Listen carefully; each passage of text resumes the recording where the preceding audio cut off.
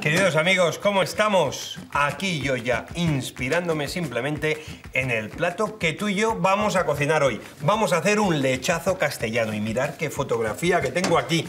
Una fotografía casi casi en el interior de un horno de leña.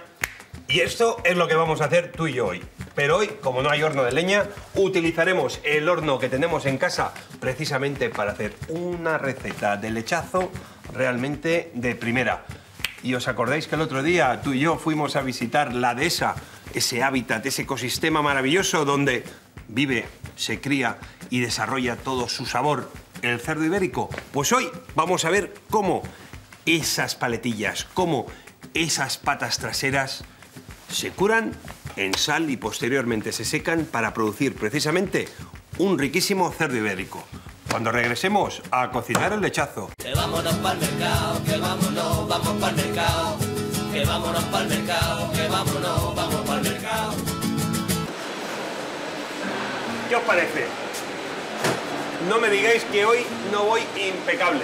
¿Que me queríais ver vestido de cocinero? Pues mira, vestido de cocinero, cubierto los zapatos. Hoy voy impecable. Que es como hay que ir cuando uno viene a un lugar como este. Fijaros qué planta de producción. Y aquí os voy a presentar a mi amigo Andrés, que es el jefe de producción de esta planta. Andrés, nos vas a enseñar a mí y a todos mis amigos cómo empieza este proceso. Pues como puedes ver, lo empezamos recibiendo el jamón que ya viene cortado, con la V hecha. Y lo primero que hacemos es leer la etiqueta que identifica el jamón, que nos permite saber su historia hasta dónde ha crecido el cerdo y dónde ha estado pastando. Y has dicho lo de la V. Lo de la V exactamente, ¿por qué? Lo de la V es necesario porque la corteza cuando se seca actúa como una barrera y impide que el jamón se seque. Por lo tanto, hacemos, retiramos la mayor parte de corteza para permitir que el jamón seque por delante y por detrás. Bien. Y la V característica. Pues nada, empezamos bien. Aquí ya saben de dónde viene y pueden seguirlo hasta que llega a vosotros, a mí, al consumidor. Genial. ¿Me sigues enseñando? Te sigo enseñando. Bueno, Andrés, y aquí ahora veo que es el momento mágico. Efectivamente, aquí lo que estamos haciendo es meter el jamón en la sal. La sal que le va a dar su sabor y además va a permitir su conservación. Como ves, ponemos una capa de sal, luego encima ponemos los jamones que luego cubrimos con más sal. Y como veo, siempre en la parte del corte hacia arriba. Efectivamente, porque por donde entra bien la sal es por donde está la carne, que es lo que permite una- eh, que se filtre mejor la sal. La sal que empleamos es una sal de grano grueso, sal marina. La finalidad es que la sal se funda poco a poco, para que no sale de golpe la superficie del jamón, sino que vaya penetrando al fundirse. ¿Cómo sabes cuántos días tienes que dejar cada pata? Por el peso, nosotros estamos dándole un día por kilo de peso, de tal manera que un jamón que tuviera 10 kilos estaría 10 días metido en la sal. O sea que lo que estás haciendo anteriormente que he visto que los estabais como clasificando es separándolos según su tamaño. Efectivamente, porque cada jamón, según su tamaño, va a tener un proceso tanto de salazón como de secado. Un jamón más pequeño seca en menos tiempo, uno más grande en más tiempo. ¿Ha quedado claro? Por cada kilo de peso, un día de salado. No veas. Después de los 10 días en sal, los sacamos de la tina donde los hemos metido y los lavamos con agua de manantial para retirar todos los restos de sal. Los colgamos y los llevamos a un secadero como este. Este Increíble. secadero, lo que hacemos es intentar reproducir las condiciones de un año idílico. Aquí en concreto estamos en pleno invierno. Empezamos a 3 grados, acabamos a 8 y aquí el jamón se está 5 meses, de los cuales se va secando progresivamente. Y has hablado de invierno. ¿Y qué pasa con ese momento del verano que he oído yo que es muy necesario para ayudar realmente a que el ibérico acabe curando de la manera correcta? Muy sencillo. Bueno, detrás del invierno viene la primavera. Como te he dicho antes, aquí ahora estamos en la primavera. Pues la verdad que sí que se nota como que estuviéramos en mitad de la primavera, queridos amigos.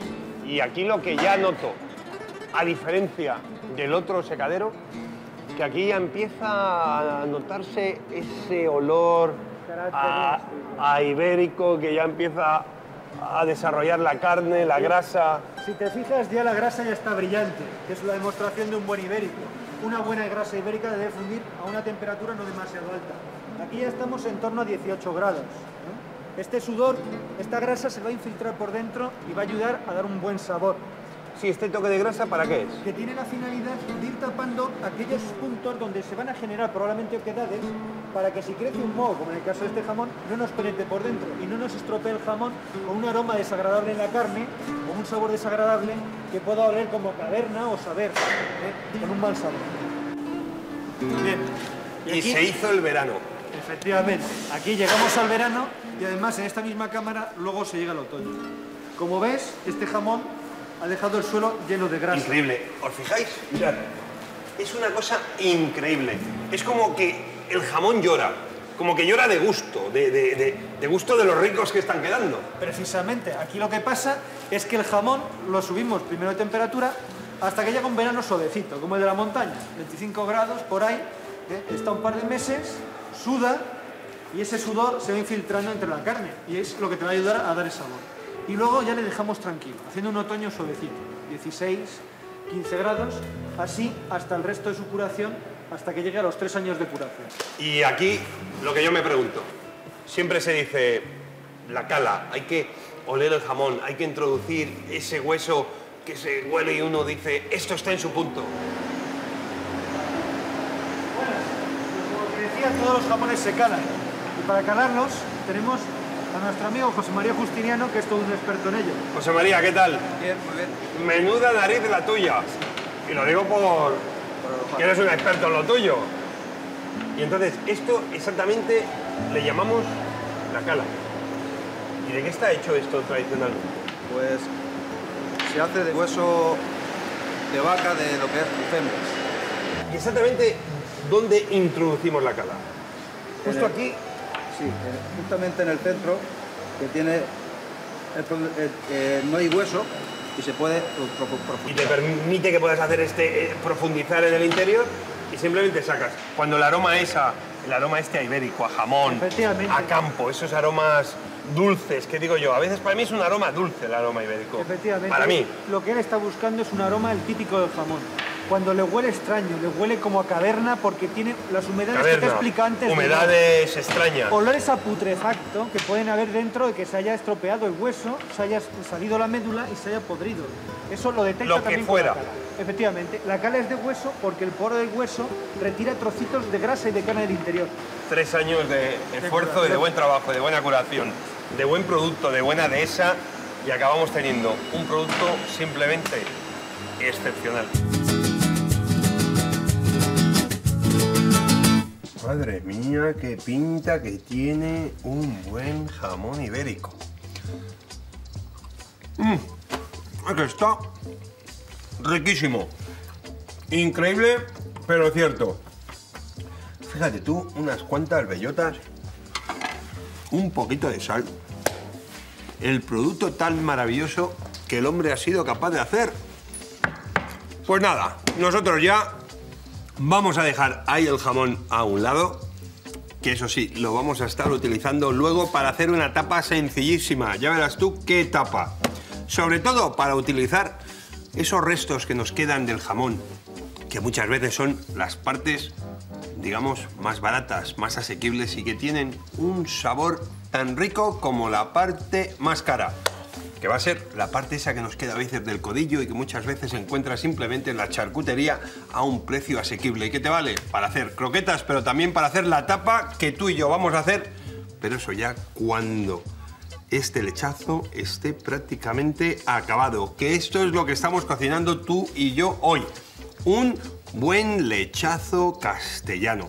Este lechazo es de la variedad churra.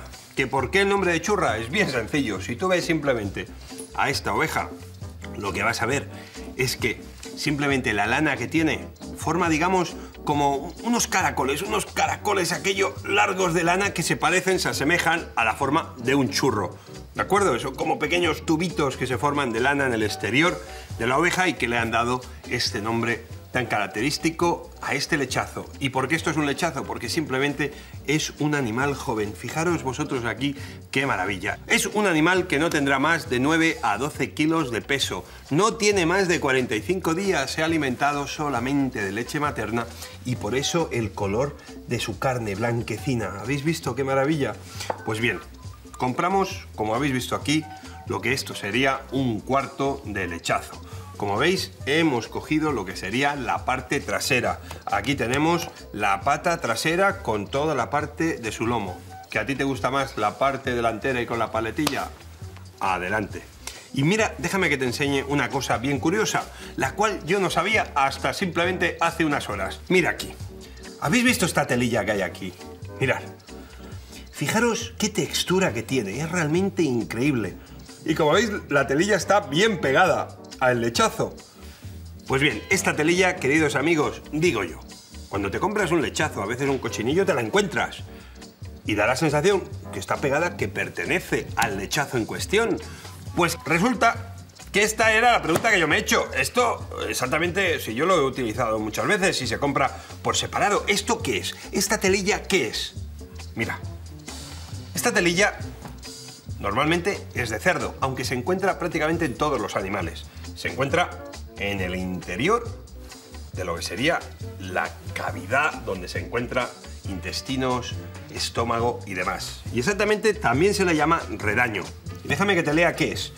Fina membrana veteada de grasa que rodea los intestinos de los animales de carnicería. Un lechazo entre ellos, pero también cerdos y demás. El término se emplea especialmente en el cerdo. Bien, en charcutería, después de remojar el redaño para suavizarlo y manipularlo con mayor facilidad, se utiliza para envolver la carne picada preparada para hacer las crepinets, un plato que tú y yo haremos aquí algún día. Pues bien, lo que nos ha contado esto, queridos amigos, es que el redaño normalmente es de cerdo, ya hemos visto dónde está situado, y lo que pasa que al ser una telilla grasa tan única, fíjate, como el lechazo en este caso, es también a su vez de una carne cuando es tan joven, tan tersa y tan fina, necesita de protección. Esto le iría muy bien a aves delicadas como pudieran ser en su día el faisán, que las pechugas hay que protegerlas porque tienen simplemente una piel muy fina. Dicho todo esto, cerramos libro y nos ponemos tú y yo a cocinar. El horno lo hemos puesto con el ventilador y lo tenemos a 200 grados centígrados. Me pongo delantal y tú y yo nos ponemos a cocinar ya mismo. Pues empezamos. ¿Qué es lo que queremos? Mortero. Y con el mortero lo que hacemos es simplemente majar, en este caso, el ajo. Así, unos 5 dientes de ajo para un cuarto de lechazo nos van a ir de maravilla. Un poquito de sal, la justa. ¿Para qué ponemos la sal? Esto tú, yo creo que ya lo sabes. De esta forma evitamos que el ajo nos baile por el fondo del mortero. ¿De acuerdo? Ya podemos coger un poquito de perejil. Y ya podemos introducir el perejil también en el interior. Y por qué no, seguimos majando. Y de esta forma ya vamos a tener al final una pasta un poco rústica que va a tener simplemente sus pedacitos de ajo por aquí y sus pedacitos de perejil por allá. No necesitamos que sea una masa lisa. ¿De acuerdo? Con que nos quede todo más o menos picadito, estará ya en su punto.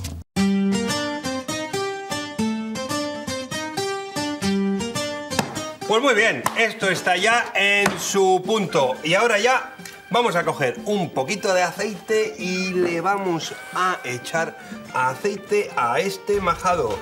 Y a este majado le echamos el aceite para que así, como si fuera una pintura culinaria, podamos pintar el cordero. Y de esa forma también le damos al cordero un poquito de grasa, en forma, como no, de aceite de oliva. Lo justo. Y ya esto está en su punto. ¿Habéis visto qué bien? Esto es lo que queremos. No me digas que esto no es sencillo. ¿Qué necesitamos para hacer un lechazo como este? Bien, es una carne muy tierna, es una carne muy pura. Pero a mí, ¿qué quieres que te diga? Me gusta darle ese toque a hierba, casi casi ese toque a hierba para que el lechazo se encuentre casi de donde viene. Vamos a por un poquito de tomillo y vamos también a por un poquito de romero. Y también le vamos a poner bastante laurel. Eso nos va a ayudar a hacer una capa fina en el fondo que también va a evitar de que de alguna manera el lechazo esté en contacto directo con la bandeja donde lo vamos a introducir en el horno. Y eso nos va muy bien porque de esa forma, aparte de que nos proteja el contacto directo, va a hacer que simplemente se cocine mucho mejor. Está como ligeramente elevado porque le vamos a poner una gotita de agua en el fondo y al ponerle una gotita de agua, lo que va a suceder, queridos amigos, el agua va a ayudarnos al principio a que de alguna manera se nos quede como soasado, que este es un término que diría yo, el asado sería puramente graso. Al echarle una agüita al principio, ese agua va a evaporar. Ese agua al evaporar va a generar una especie de vapor interno en el horno. Al tener un vapor interno nos va a ayudar a que al principio la carne no va a coger color con facilidad. El color lo va a coger una vez que ese agua ha evaporado y que prácticamente, queridos amigos, al final, al darle la vuelta a mitad de cocción, ya tendremos la carne casi cocinada y al final lo único que querremos será que su capa exterior y su parte exterior nos quede perfectamente, repito, perfectamente dorada, churruscada, para que quede crujiente y de esta manera el lechazo saque lo mejor que tiene dentro de sí. Y ahora mismo a por el laurel. ¿Y cuánto laurel? Te he dicho que bastante. Yo aquí acudo a por una o dos hojas. Hoy me llevo unos cuantos sin problema. Que hoy, queridos amigos, el laurel para esto va a ser protagonista. A mí, por lo pronto, es un plato que me encanta cuando lo hago. Más de uno dirá, anda, José, montón de hierbas para una carne tan delicada. Pues bien, hay dos opciones. Una, no ponerle, o dos, ponerle. Tú eliges. ¿Sabes lo que va muy bien también? La rama simplemente del laurel. El laurel tiene un aroma intenso. Pues bien, si conseguimos esas ramas del laurel, van a hacer exactamente de lo mismo. Hacen como de tablillas y hacen que también el lechazo se mantenga elevado respecto a la bandeja. Pues mirad, ahora ya tenemos esto por aquí y lo que vamos a hacer es lo siguiente. Vamos a coger el lechazo. El lechazo tiene aquí esta cola que simplemente se la vamos a cortar con ayuda de unas tijeras. ¡Hala! Y le quitamos la cola así tal cual. Que a ti te gusta, se la dejas. Yo, por lo pronto, se la quito. Y ahora ya, cogemos esto con la telilla y todo y lo vamos a colocar así, en esta posición. Y lo que vamos a hacer ahora es lo siguiente. Vamos a coger aquí este pincel que tengo y vamos a pintar toda la superficie interior del corderito.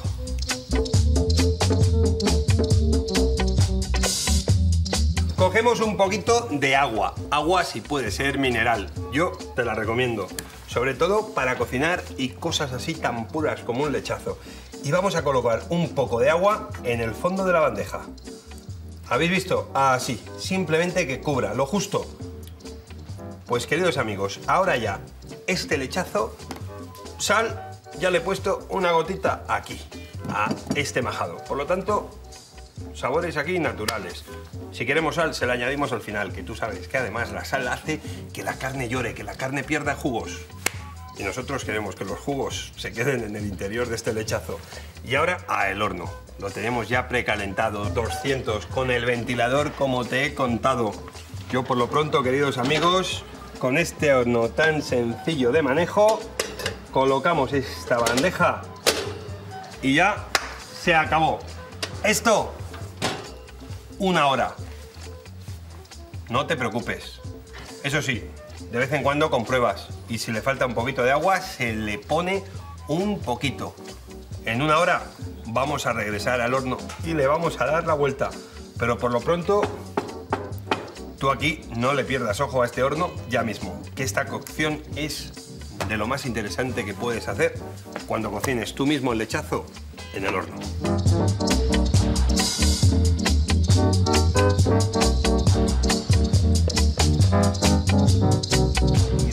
Cómo va este lechazo. ¡Qué maravilla! Casi, casi ha pasado ya una hora. Ahora le podemos dar la vuelta. Y ahora, queridos amigos, retiramos todas estas hojitas que se han quedado pegaditas. Y mirar que ya lentamente la piel se nos empieza a adorar. Pues bien, lo único que tenemos que hacer ahora es darle otra capita, ¿por qué no? Con el ajo y con el perejil. Una gotita más de agua al fondo para que no se nos vayan a quemar todas las hierbas. Y además para mantener un ratito más el vapor que te he dicho anteriormente. ¿De acuerdo? En 30-40 minutos tendremos ya la piel de este lechazo perfectamente cocinada y nos va a quedar realmente un lechazo increíble, de primera. Así, fíjate tú qué bien. Un poquito del agua. Y esto ya está, pero fíjate que he hecho el agua en el fondo de la bandeja. Nunca, nunca por encima, porque si no, evitaríamos que se formara esa costra que vamos buscando, ese crujiente que queremos en toda la piel del lechazo. Ya te digo, de 30 a 40 minutitos más. Pues bien, ¿verdad que hemos estado hablando de jamones, de jamones ibérico? Vente conmigo un momento que te voy a enseñar la diferencia entre un serrano y un ibérico.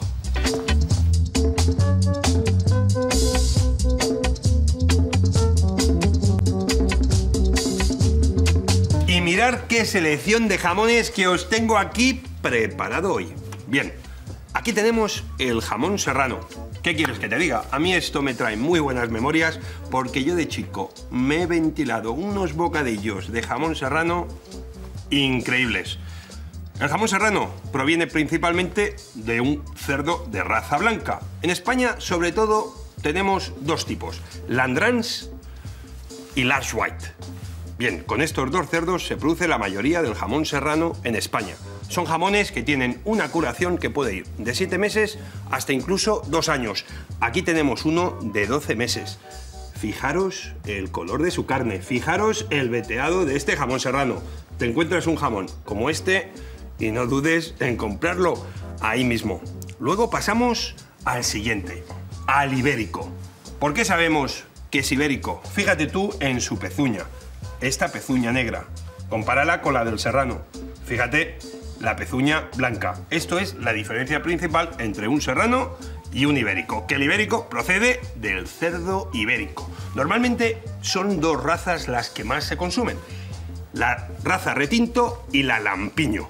Bien, este cerdo cuando tú compres simplemente jamón ibérico sin más, significa que es, como no, un jamón que viene de esa gran raza, de cualquiera de las del cerdo ibérico, pero simplemente es un animal el cual ha consumido, entre otras cosas, cereales como pudiera ser trigo y cebada o leguminosas, etcétera, etcétera.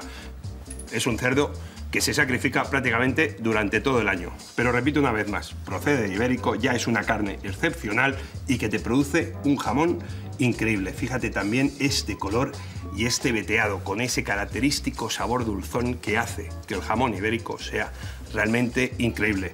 Este de aquí, calidad-precio para un ibérico, es realmente de primera. Y por último, pasamos al rey de los jamones, el ibérico bellota. ¿Qué significa esto? Que en este caso es un animal, el cerdo ibérico, que ha consumido los últimos 3-4 meses de su vida bellota. Ha estado campando a sus anchas en la dehesa y su peso prácticamente lo ha doblado alimentándose con la bellota. Tú y yo ya hemos hablado mucho de eso. Hace que la grasa que adquiere sea una grasa increíble. Es una grasa que funde a 22 grados a temperatura ambiente y es lo que hace que cuando lo introducimos en la boca realmente todos esos sabores se desaten y hagan que nos volvamos locos simplemente consumiéndolo. Fijaros la beta que tiene. Esto es lo más característico. Simplemente esas vetas de grasa se van infiltrando entre la carne y es lo que hace que al corte, mirad qué maravilla, introducirlo en la boca sobre la lengua, se funda la grasa y haga que este cerdo ibérico, este jamón ibérico de bellota, se convierta en uno de los mejores manjares que encuentras en el mundo. Y ahora, a seguir cocinando. No me digáis que no ha sido interesante lo que hemos visto sobre el jamón serrano y el jamón ibérico. Pues bien, ya tenemos el lechazo en el horno, ya le queda muy poquito. Y nos vamos a poner a preparar, con tu permiso, claro está, lo que sería su guarnición. Una guarnición que a mí me encanta, que va a ser una cebolleta bien tierna y que la vamos a preparar de una forma muy sencilla, pero creo que de una forma que a ti te va a encantar. Y mira, aquí ya tenemos, como veis, la cebolla bien limpia, que estos duendecitos hacen un trabajo que no veas. Y lo que separamos es la parte propiamente dicho de la cebolla, su bulbo, de lo que sería su tallo. La parte más blanca por un lado y la parte más verde por el otro. Y bien, aquí en la cebolla lo que vamos a hacer es cortarla a cuartos. Eso también depende del tamaño. Hay cebolleta tierna que es más grande. Por lo tanto, a cuartos será excesivamente grande. Tendrás a lo mejor que cortarla a octavos. Por eso, lo importante es que la cortes del mismo tamaño que la voy a cortar yo ahora mismo, ¿de acuerdo? Y mira, hacemos un corte así y un corte así. Y ya la tenemos perfectamente cortada. Esto es bien sencillo. Esto lo hace, vamos, hasta el que no haya cocinado nunca. Aquí lo importante realmente es ahora separar las diferentes aros, los diferentes anillos que forman el cuerpo de la cebolla. ¿Veis? Simplemente así, con la ayuda de los dedos, sin ningún tipo de problema. Y simplemente con la parte verde, con la parte del tallo, lo que vamos a hacer es cortarla, digamos, como en una juliana fina. Muy bien, ¿para qué tengo aquí este agua con un poquito de sal? Pues bien sencillo, para blanquearla, para darle ese golpe que va a durar dos segundos justos y que nos va a ayudar precisamente a quitarle ese sabor, ese aroma fuerte que muchas veces le da ese contenido mínimo que tiene de azufre la cebolla y que va a hacer que luego en boca sea muchísimo más rica y que de alguna manera la cebolla, que puede llegar a ser fuerte, acompañe perfectamente al lechazo, que por ser tan tierno y tan joven no deja de ser una carne increíblemente delicada. O sea que esto, poner y prácticamente sacar. Y como veis, esto ya está. Esta es una forma perfecta, queridos amigos, de realmente conseguir que en este caso la cebolla pierda ese sabor fuerte un poquito de agua rápidamente bien fría y de esta forma ya tenemos la cebolla donde la queremos. A mí es una de mis guarniciones favoritas. ¿Y ahora qué nos queda por hacer? Dejar que se escurra, no queremos exceso de agua en ninguna ensalada, sea de lo que sea, y simplemente a preparar una vinagreta al instante. ¿Y qué mejor vinagreta que un buen aceite Apagamos el fuego por aquí y un buen vinagre. Y ahora ya a poner vinagre. Y como no, un buen vinagre de Jerez. Eso sí, que no tienes vinagre de Jerez, no pasa nada. Utiliza un ácido parecido. Puede ser un vinagre de cava, puede ser un vinagre de manzana, puede ser simplemente unas gotas de zumo de limón. Aquí lo importante es simplemente tener el aceite por un lado y el ácido, en este caso, el vinagre de Jerez, pero el que a ti más te guste. Y mira, unas gotitas y aquí no hay ciencia perfecta.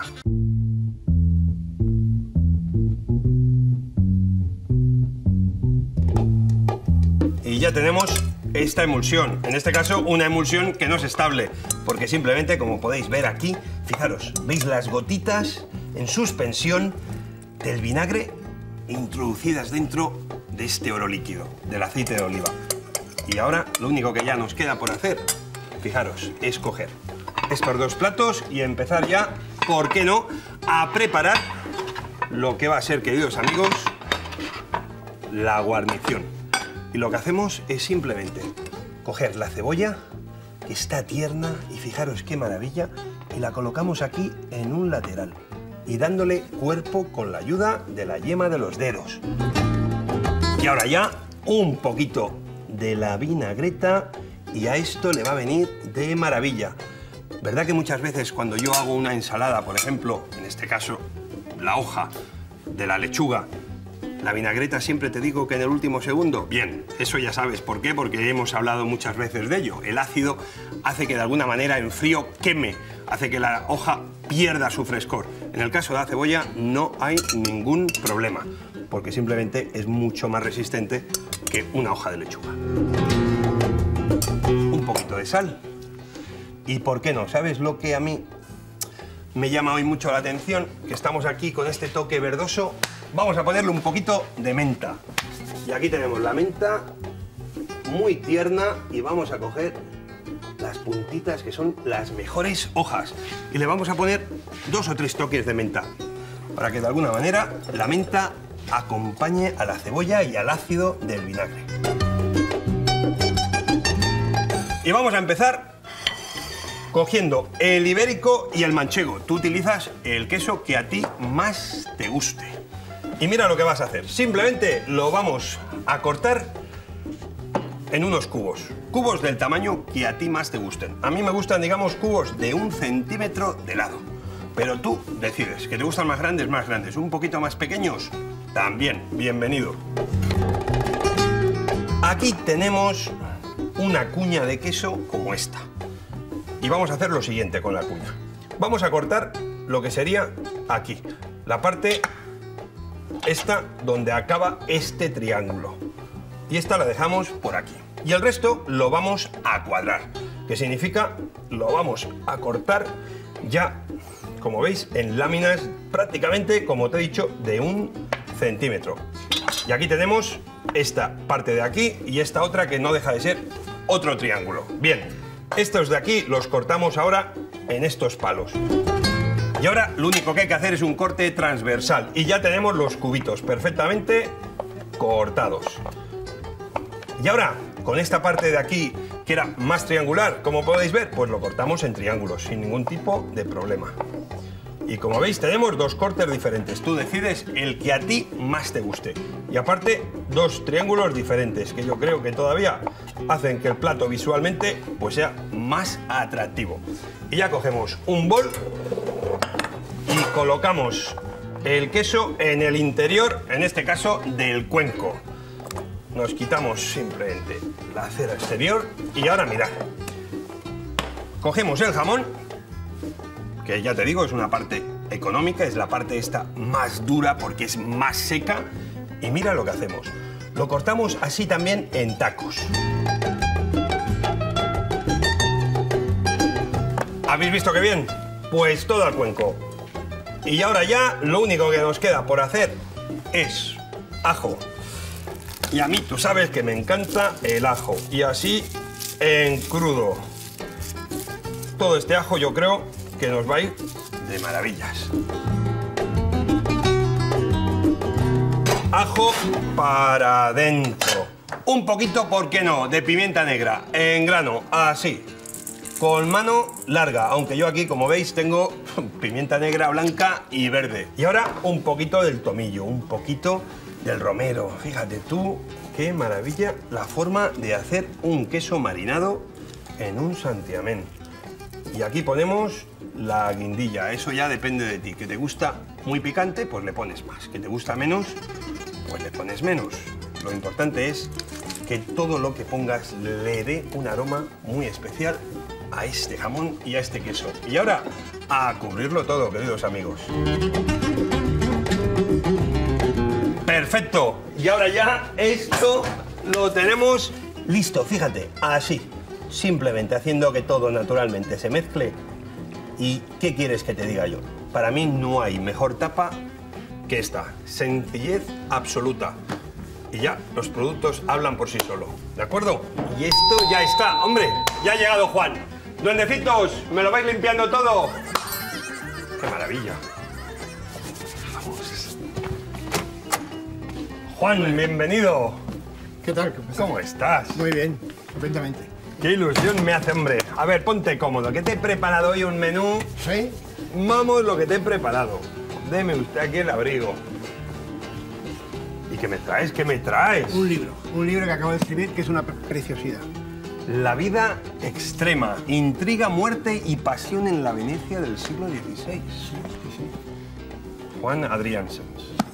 Por cierto, hay un episodio... Adriansens. No, en realidad es un nombre holandés y se pronunciaría en holandés, se pronunciaría Adriansens. Adriansens. Pero, pero aquí se pronunció Adriansens. Bueno, lo tuyo, eh, apellido holandés, cubano de nacimiento. Sí, bueno, uno es internacional un poco, ¿no? Has vivido en medio mundo. Sí, sí, sí. Y la verdad es que me gusta la comida de medio mundo, pero esta tiene una pinta impresionante. Sí, sí, esta tiene una pinta impresionante, pero ¿en tu libro hay algún capítulo gastronómico propiamente dicho? Hombre, hablar de gastronomía a ti eh, es casi una redundancia. Ven aquí, ven lo, que aquí. pasa, lo que pasa es que hay un episodio bastante divertido cuando él llega a un pueblo de Aragón, no voy a decir que es para que el pueblo de Aragón no se ofenda, y entonces llega a Antonio Pérez, que es uno de los personajes del, del libro, o sea, el famoso secretario de Felipe II, ¿no? Y, y va al ayuntamiento de ese pueblo, y claro, el cocinero del ayuntamiento se pone muy nervioso porque Antonio Pérez es una persona muy principal, ¿no? Entonces quiere hacerle una comida magnífica. Y mientras mejor quiere hacer la comida, peor le sale. Y al final lo que come es una cosa bastante atroz. ¿Y eso qué? Esto de hecho aquí, un jamoncito ibérico y un queso marinado, pues a las hierbas, al ajo, al romero, al tomillo. Y además de verse, ¿se puede comer? Por favor, adelante, si te tengo hoy aquí preparado un menú. Un menú te tengo preparado hoy, Juan. Muy sencillito. Y mira, esto es una parte muy económica que puedes comprar en la tienda y haces estos tacos de jamón. Ah, pero hay algo económico en una tienda todavía. Pero por favor, pero por favor. aún, aún quedan cosas económicas. sí, sí, hombre, bien. El precio de la vida, la verdad que sí que está subiendo, pero, pero aún quedan cosas. Venga, pues esta es una tapita realmente para tener preparada y que te llegan los amigos. Y fíjate tú. ¿Eh? Si lo hubiera podido comer Antonio Pérez en, La- la- en- la- en lo, que pasa es que tú comes más rápido de lo que a mí me da tiempo a preparar, Juan. Yo como ya, muy ya rápido. veo que como... Es malo, es malo comer muy rápido. ¿Escribes muy tan rápido? No, no, no. Ese libro me ha costado año y medio. Año y medio. Año y medio de trabajo. No, no, bueno, me- menos mal que te toma un año y medio escribirlo, porque fíjate, es que vamos, es que no me das tiempo. Tienes hambre, hoy tengo sabor tradicional. Yo prefiero los sabores nuevos, pero en comida tradicional. Porque hacer sabores muy, muy mm, sorprendentes, muchas veces la sorpresa es terrible, ¿no? Algunas veces la sorpresa es verdaderamente dramática. Pero un momento, tú me estás hablando de otro tema aquí. Estás hablando que si la nueva cocina, que si... No, no hablemos de cosas agradables. Estamos... Pero, pero, pero, pero, pero, pero, pero, ¿qué dice? Pero, pero usted qué comenta. A mí me gusta la comida que... Si aquí nos estuviera viendo ahora Juan María Arzac, nuestro gran genio culinario, él siempre ha dicho que aquí lo importante no es cocina tradicional o nueva cocina, sino que lo importante es la buena cocina. Te estás poniendo morado. Claro. Mira, mira, mira, mira, que tengo aquí el lechazo. Fíjate tú cómo ha quedado, madre mía. huele. Este lechazo. Fíjate tú. Con sus hierbas, le echo un majadito de perejil, de ajo. Una cosa increíble, vamos. Yo veo que tú empleas mucho, mucho las hierbas y eso es estupendo. Es que la hierba a mí Sí. simplemente es un aroma Sí, sí. tan natural, tan increíble, fíjate, fíjate, que a mí simplemente me fascina. Esto lo voy a poner aquí. Porque ahora mira, todos estos juguitos, que es un poquito la grasa que ha soltado el lechazo, el- un poquito de aceitito y las hierbas, esto lleva mucho laurel y el laurel es fuerte. Pero esto, fíjate lo que se puede hacer. Vamos a coger el colador. Y lo que vamos a hacer es un juguito muy rápido, muy rápido. Bien. Pues bien, y esto ya. Prendemos fuego y mira, mira, mira, mira. Que simplemente levanta el hervor y lo que vamos a hacer es darle aquello una ligazón con un poquito de, de un espesante natural. Puede ser con un poquito de harina, puede ser con un poquito de, de cualquier fécula. Fécula de patata iría bien, un poco de maicena. Lo, lo justo para que el caldo tenga un poquito de cuerpo, un poquito de cuerpo. Pues venga, mira, te tengo aquí un vinito realmente increíble. Para acompañar a este queso ya este ibérico como nada. Vega y Bor, crianza en barrica. Es realmente un vino, un tempranillo, un vino de la tierra de Castilla excepcional. Eh, ¿Qué castillo? ¿La nueva o la vieja? Ya empezamos. Vino de la Castilla en general. ¿no? Es que me haces unas preguntas. Ciudad Real, Ciudad Real, o sea, la nueva. la nueva. Pues aquí tenemos. Que esto sabes por qué hago comentario. Porque resulta que a mí me han visto aquí más de una vez cocinando.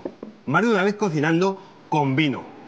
Y hay gente que a lo mejor algún bodeguero, sin ánimo de ofensa yo aquí, pero que se ha ofendido, dicen, cocinando con mi vino. Por favor, uno va a Francia y ve el famosísimo Chateau d'Yquem, uno de los grandes vinos. Y se hacen recetas con Chateau d'Yquem, cuidado. Esto está al alcance de cuatro reyes y punto. Pero que el buen vino es necesario para la buena cocina, punto. Y yo no cocino con nada que no me beba. Muy bien, pues Y este es un gran vino. Para beber es de primera. Aunque para cocinar también sería genial. Yo voy a seguir él. Tú sigue, toma. Brindamos primero Bueno, y te voy a cortar un poquito de jamón. Si es que hoy vamos a cortar jamón. Mirad qué maravilla de jamoncito ibérico. Algún día hablaremos de cómo cortar un jamón bien. Oye, aquí tienes. Para que sigas comiendo, sigas degustando. no, no, no, yo voy a seguir comiendo. ¿eh? Si tú comes como si estuvieras en tu casa. Tú no serás amigo de Tonino, ¿no? No. ¿No te parece que Tonino y él, con esto del saque? Bien. Pues mirad, ya tenemos aquí los jugos, fíjate, que ya prácticamente reducidos. Y lo que vamos a hacer un poquito, en este caso de maicena express, que esto va de maravillas. En un segundo tenemos la salsa con cuerpo, que es lo que estamos buscando. A emplatar y a comer. Y bueno, esto ya cada uno que haga lo que quiera. Yo te lo iba a hacer como... Una maravilla. Pero yo te lo iba a hacer como más, más fis, ¿no? No, no, no, finolis nada, de finolis nada. La comida no puede ser finolis, la comida tiene que ser buena. Le haremos caso que para eso es el invitado. Pero usted tiene vuestra comida así sabrosa. Y colocamos esto aquí en el lateral. Entonces, por ejemplo, esto es esto para ti y el resto también te lo dejo para ti. Entonces, No, no, no, tanto, no, tanto. Yo no, a ver, ¿que te he puesto poco ahora? no, no, me escucho muy bien, estupendamente. Pero si es todo hueso. Mira, y ahora simplemente, fíjate tú, lo crujiente de la piel con un poquito de la carne. Mira, mira, mira, mira cómo está en el interior. Mira, mira cómo está en el interior. ¿Lo veis? Esto, este por ejemplo, este es para mí. Que yo es que estoy comiendo poco últimamente. Que yo... Pero está comiendo bien. Sí, sí, pero sano, pero sano. Mira, mira, mira, mira, mira, mira, mira. mira. Y ahora ya, lo único que hacemos con este caldo que hemos sacado aquí, la mínima expresión, fíjate. Un toque, así. Un toque que acompañe. Un toque, fíjate. Un toque. Y yo creo que con esto vamos bien. Con esto vamos sobrados. ¿A la mesa? A la mesa. Pues venga.